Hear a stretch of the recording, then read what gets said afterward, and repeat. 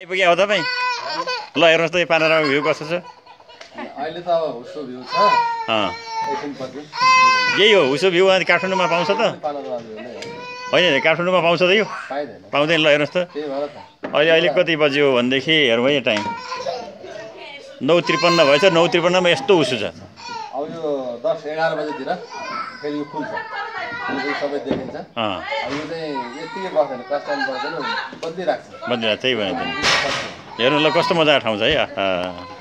ल म पनि यहाँ माथि बसेर उभिएर चाहिँ यसो हेरिरहेको छु नि।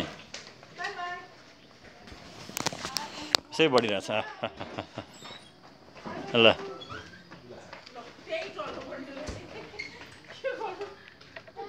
कालो लागिसक्यो सबै। ओहो, पेन चलाएर? त्यो त पेन चलाएर यहाँ जुङ्गा बनाएर ल। हाँसेको बाई बाई। हेर न निले गर्ने निले निले तल मसँगै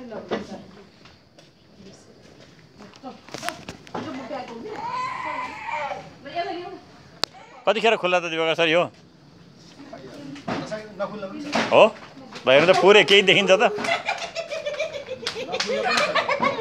पुरै दिन है चिसो कतिको बढाएको छ कहीँ केही देखिन्छ पुरै Usu, usu, usu.